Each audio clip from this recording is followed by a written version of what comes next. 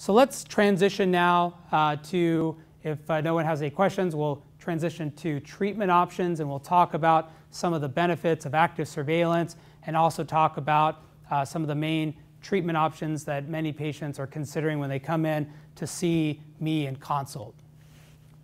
So as we look at the treatment options here, we have active surveillance at the top of the screen, radiation, which includes several different forms of radiation in the middle, and then we have surgery, with, which has both uh, robotic surgery as well as a radical prostatectomy listed at the bottom of the screen.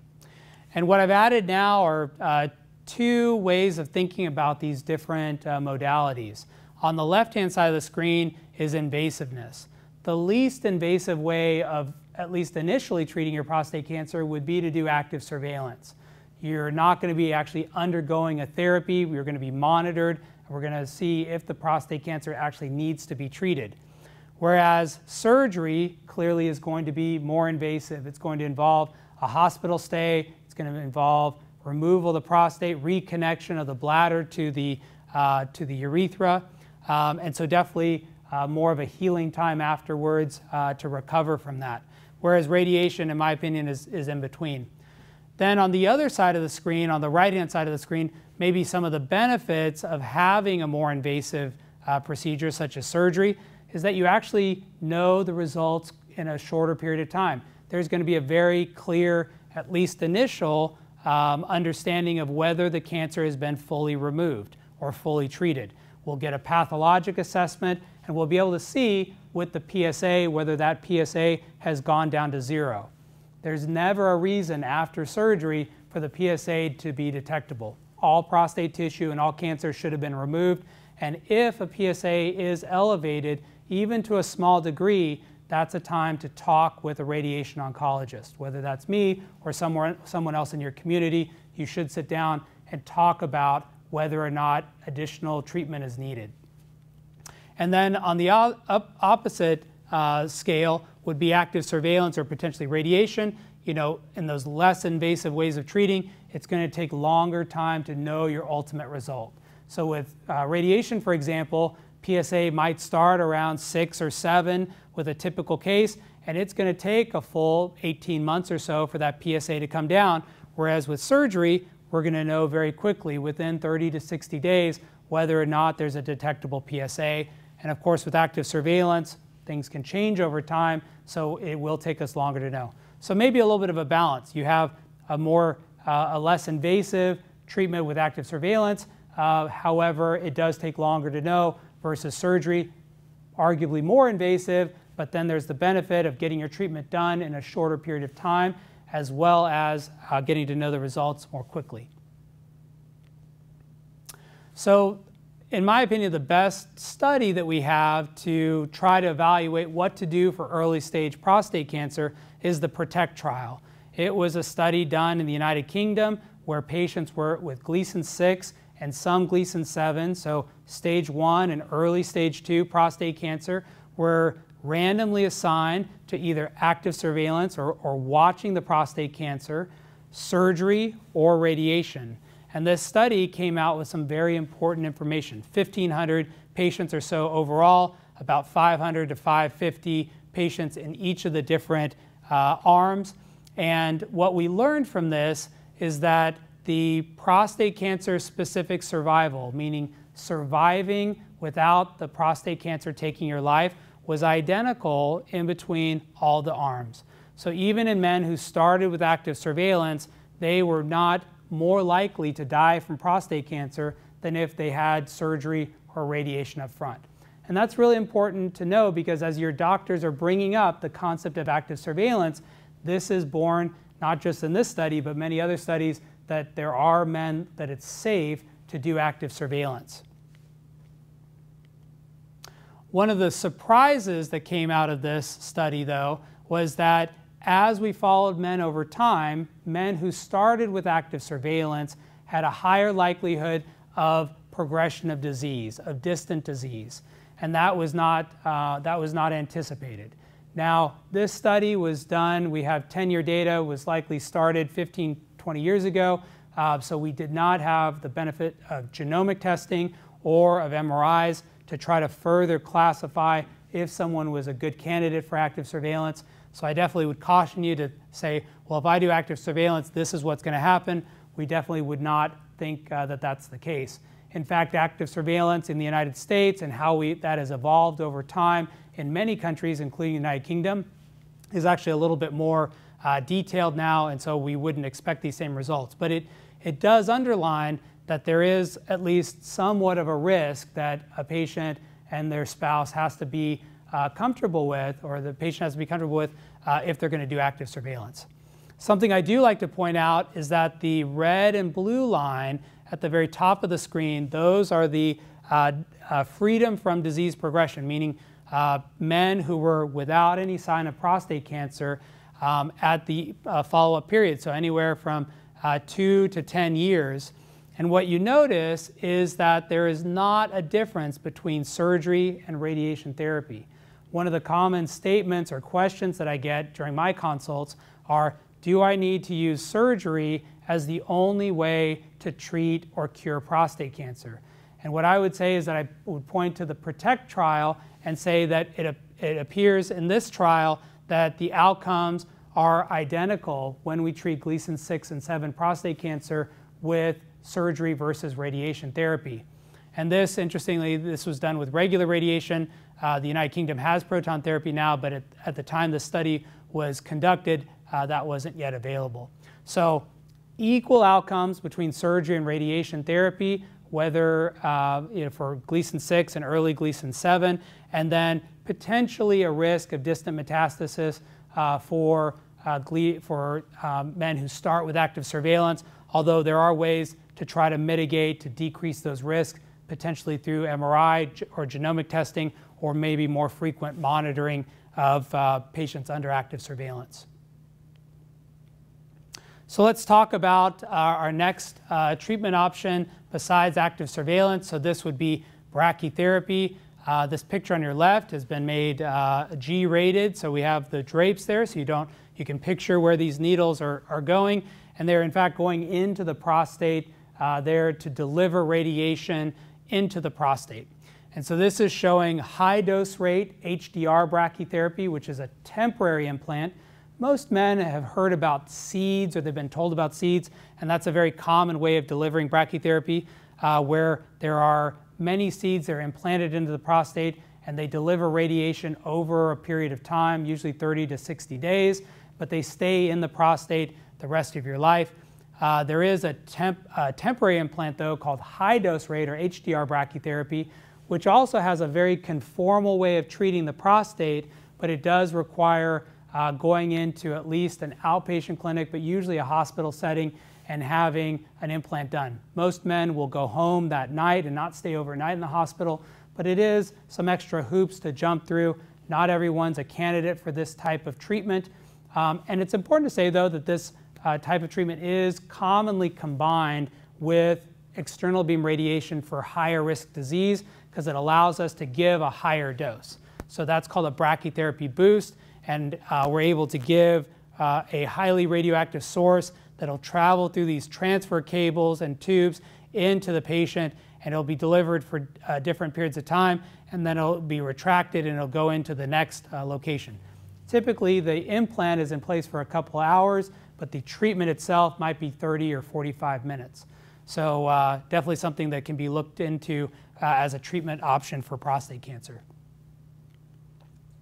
So when we think about surgery, the advantages of surgery, uh, the treatment uh, should be complete at the end of the surgical case. So when a patient comes out of the operating room and is done with the uh, treatment, uh, ideally all the cancer has been removed, and then we should have quick confirmation of that with pathologic assessment. The margin should be negative. there should be no extension outside of the prostate, uh, which we call extracapsular extension, no seminal vesicle invasion, um, and then we also are going to be checking for that PSA 30 to 60 days afterwards to make sure that's zero.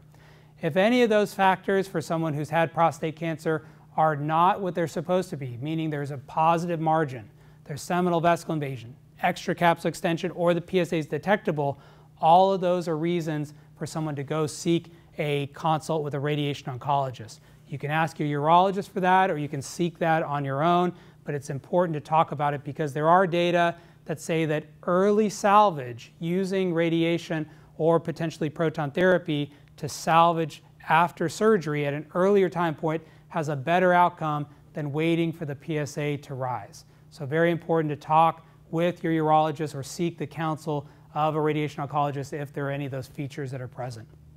But maybe some of the other advantages of surgery, you get that full pathologic assessment of tumors.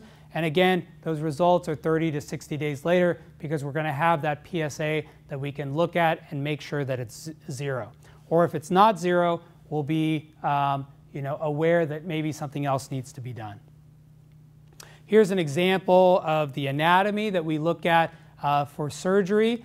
And you can see on the right-hand side of the screen that there is the bladder. You can see the ureters uh, traveling into the bladder. You also see the prostate just below it. You see the veins or the venous plexus anterior to the prostate, um, and then uh, the nerve bundles coming behind the prostate and then extending down into the penile bulb or base of the penis and uh, the urethra. So what we can't see here is the urethra that travels from the bottom of the bladder or the bladder neck down through the prostate into the urethra.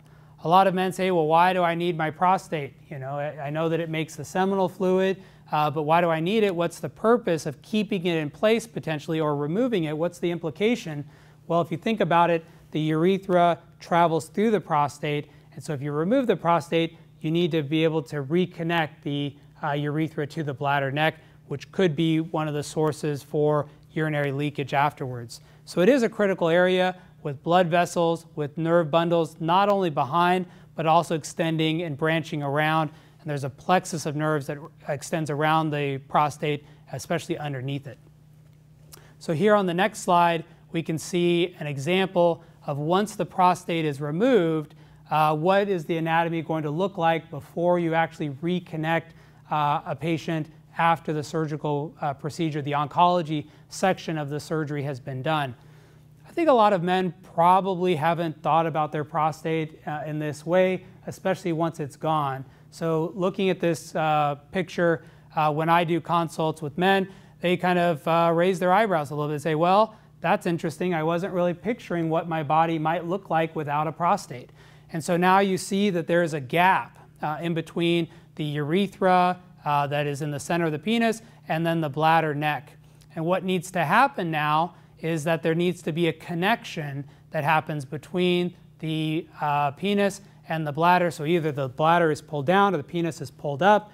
And in truth, besides some of the nerve plexus that's removed, even if you try to maintain the main nerve bundles, there are definitely some nerves that have to be severed as part of that uh, procedure. And then, of course, blood vessels that are ligated that no longer uh, will function as well.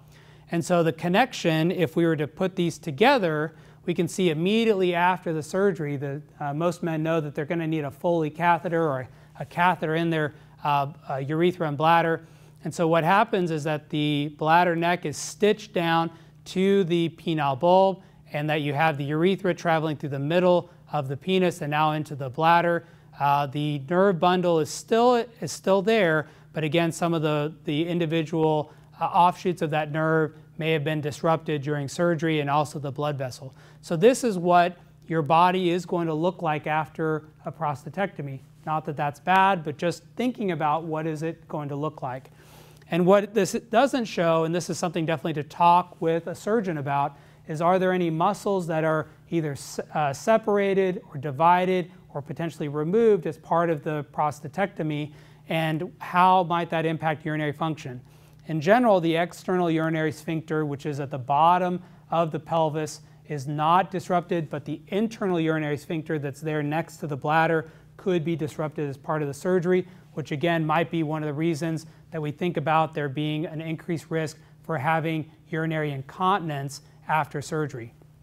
Many times that can be recovered uh, through Kegel exercises and, uh, and physical therapy, uh, but it is a, a, possible concern and definitely on many men's mind as they're trying to decide between surgery and potentially radiation, uh, whether it's brachytherapy, external beam, or proton beam therapy.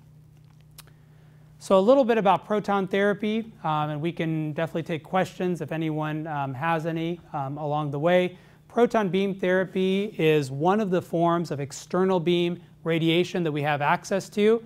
You can see the uh, different locations of either active proton centers um, or uh, which are in the orange or gray centers that, that are planned around the United States. I'm trying to think if there's any that have been um, added. So, you know, there are parts of the country that we know want to get proton therapy, but maybe have not yet actually broken ground, like uh, the Bay Area or Denver or either uh, San Antonio, um, even uh, Charlotte, North Carolina, or Duke. But there are places that uh, definitely have proton therapy, depending on what uh, part of the country that you live in.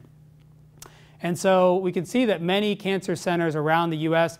do have access or have their own proton therapy. This includes MD Anderson in Houston, Sloan Kettering, affiliated with the New York Proton Center uh, that is open in Manhattan, as well as the New Jersey Proton Center.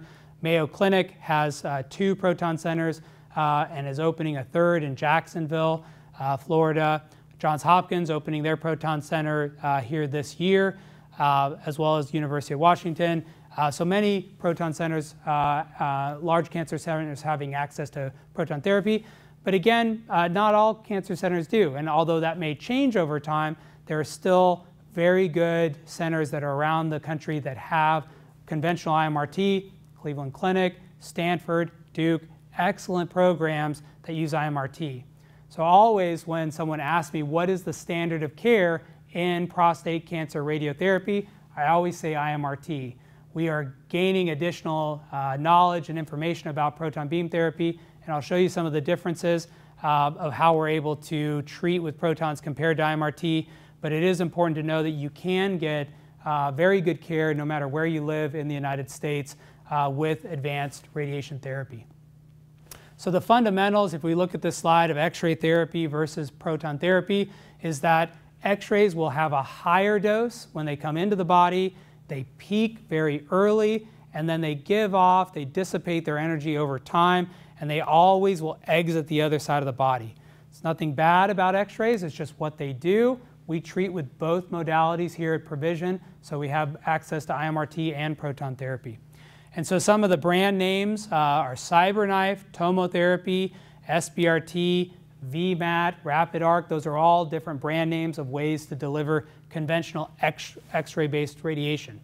Whereas proton beam therapy, which has been around now treating prostate cancer for many decades, um, has a lower entrance dose. It uh, will travel in a, a general, uh, a lower uh, dose level to the target, release all of its energy, and then within a few millimeters will stop so that there's no additional exit dose past the target. And as a, as a physician, that gives me an additional tool or additional way of treating uh, cancer. It's not to say it's the only way to treat, but it does give me some flexibility. So if I'm trying to treat, whether it's a lung tumor or an area after breast cancer surgery or potentially a head and neck cancer or prostate cancer, I don't necessarily want the energy or dose to always go on the other side of my target.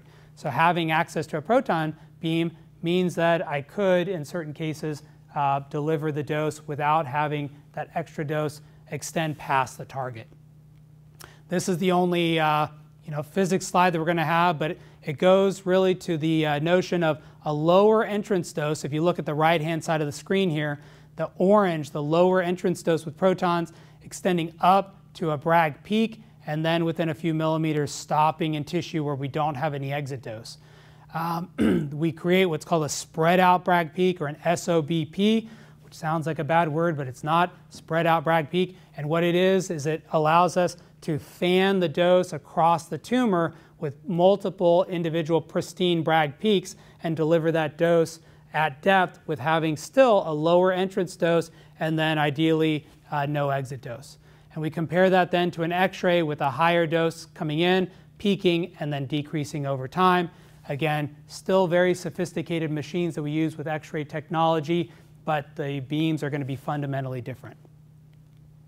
So a little bit specifically about prostate cancer, and then we'll uh, take uh, some of your questions, which I know several of you have. So if we look at this slide here comparing uh, proton therapy and IMRT, The IMRT is on the left, proton uh, uh, plan is on the right.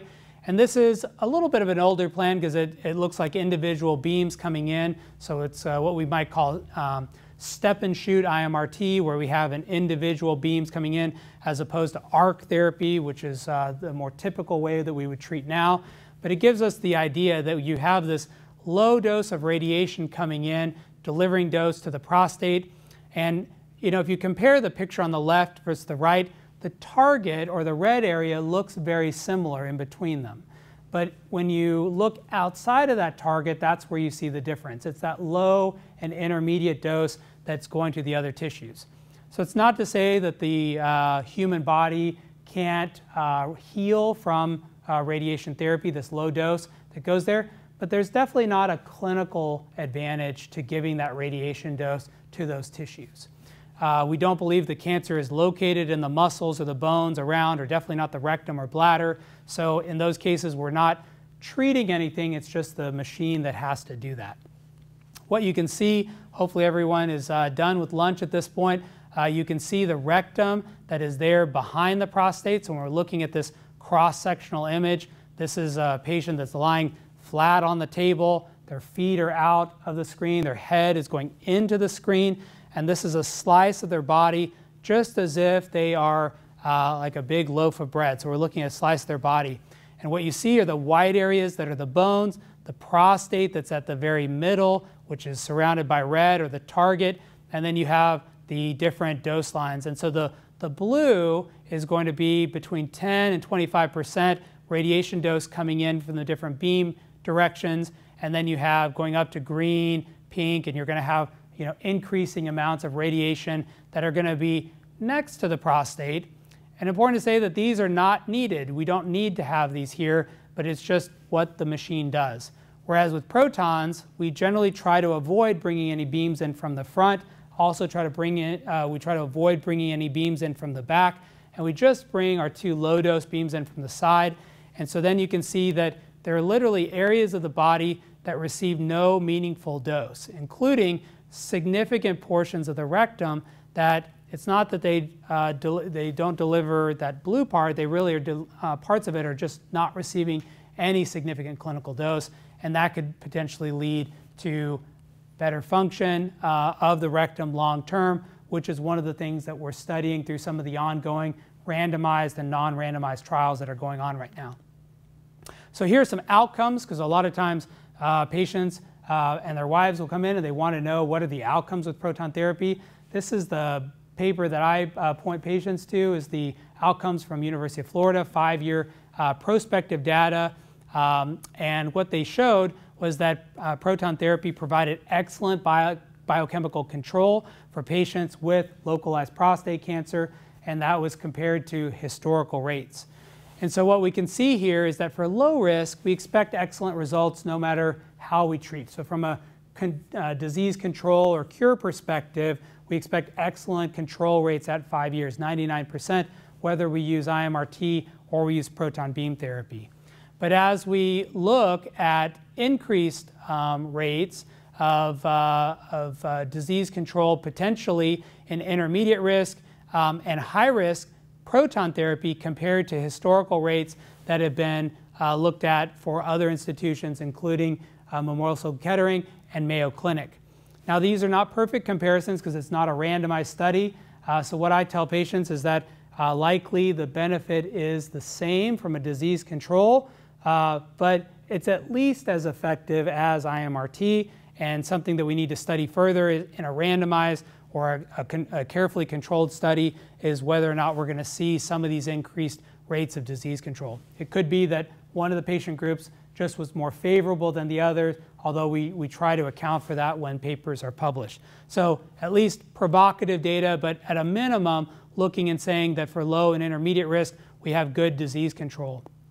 Interesting, high risk is a very large uh, bucket of patients. So if you're looking at those numbers and saying, well, I'm a little bit discouraged by this, it really depends on your individual details. If you have a Gleason 8, 9, or 10, the volume of disease, the PSA, if something is felt, if there's a lymph node that's identifiable. So all, all those factors are going to go into this. So definitely talk with me or, or one of your other doctors specifically about your chance for disease control because we are seeing better and better rates of disease control, especially as we're uh, identifying cancers at an earlier stage.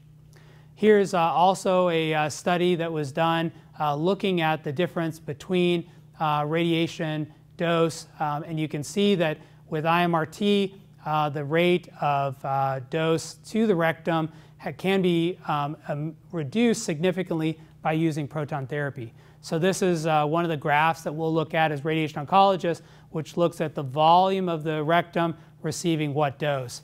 And we know that if we can lower that rectal dose, uh, especially the dose that receives 70 and 60 gray, as well as some of the lower dose points around 30 and 40 gray, that we expect to have a better outcome from a, um, a rectal function perspective. So you can see the difference between IMRT and protons. This has been changed somewhat a little bit with the introduction of the, uh, the gel spacer, uh, which can help further reduce dose both with IMRT and with proton therapy. Here's some examples of what can go wrong with either regular radiation or protons when the dose of radiation to the rectum is too high. So you can see here examples of inflammation on the left, more significant injury, chronic radiation proctitis um, within the rectum or lower bowel, and then significant necrosis or potentially ulceration. So this is what we're trying to avoid when we're using very sophisticated x-rays or potentially proton therapy to reduce radiation dose to the rectum. And so when we say that it's very important uh, to follow bowel protocols, to potentially use a gel spacer, to use an advanced technique like uh, potentially IMRT or potentially proton therapy, we're able to reduce that uh, radiation dose. And so there is definitely a purpose in us uh, wanting to reduce that radiation dose. Here we can look at the um, quality of life outcomes as reported by patients um, uh, at two years, comparing data uh, from University of Florida as well as patients from the, uh, the West Coast as well. And what you can see is that compared to IMRT, proton therapy, at least in this study, had a reduction in bowel urgency and bowel frequency at two years. So this wasn't just having uh, the uh, side effects immediately after treatment, but this is actually at two years. And this is patients specifically about how they reported their outcomes. So not huge numbers, but if you treat 100 men, you know, between six and eight men out of that 100 might have a higher bowel complication rate or decreased bowel quality of life at two years with IMRT versus with proton therapy. So at least intriguing data to talk about. We also have patients uh, receiving proton therapy reporting excellent quality of life. And so one of the things that, uh, that has been looked at by uh, Dr. Lee initially uh, at MD Anderson, and now uh, in Dallas, uh, were the EPIC urinary and bowel scores. And you can see patients treated with proton therapy versus men who were treated, uh, that were never treated with cancer, that the urinary scores and bowel scores in a follow-up period of one to 10 years were actually the same as for proton patients versus men who never had cancer. So that's really encouraging for us to say that in, in, in most men that it's almost like you did not receive treatment at the end of this because your quality of life from a urinary and bowel perspective appears to be the same as if men who had never had prostate cancer. So very encouraging uh, from this data from Dr. Lee. And so then we can also see bowel summary scores as presented by University of Florida's Proton Therapy Institute and seeing uh, summary scores. So uh, both the pre and post treatment and seeing that bowel summary scores did not significantly change five years post treatment. Urinary continence, which is a very, very common question that I get in consult, is what's the chance of urinary leakage? And generally, we would say very low, less than 1% to 2%, but this paper would actually say that 100% of the patients um, in the Florida data actually had um, uh, urinary continence at five years. And then urinary irritability, very similar pre and post treatment. So seeing that those patients before and after treatment with proton therapy had very good and in fact similar quality of life, not only similar to where they started, but actually similar to patients who never had therapy before, which would indicate a good overall urinary and bowel quality of life. This is a study that was commissioned by us here at Provision that looked uh, that surveyed across the uh, U.S. as Bryant uh, Research Group that asked patients what they uh, were most satisfied with uh, to least satisfied with from a treatment perspective. And there were different aspects that we added to overall quality of life, urinary function, sexual function, and remaining active. And what we saw in the study of these patients, so over uh, 750 uh, study patients were interviewed, um, and it was a group of proton, regular radiation, brachytherapy, and surgery, roughly similar number of patients, is that the overall quality of life that was reported by proton therapy patients urinary function, sexual function, um, and then remaining active were all higher in the proton group.